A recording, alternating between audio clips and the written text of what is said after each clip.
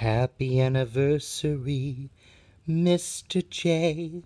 You're really swell and okay.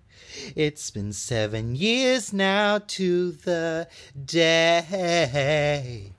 Take the night off, let's play.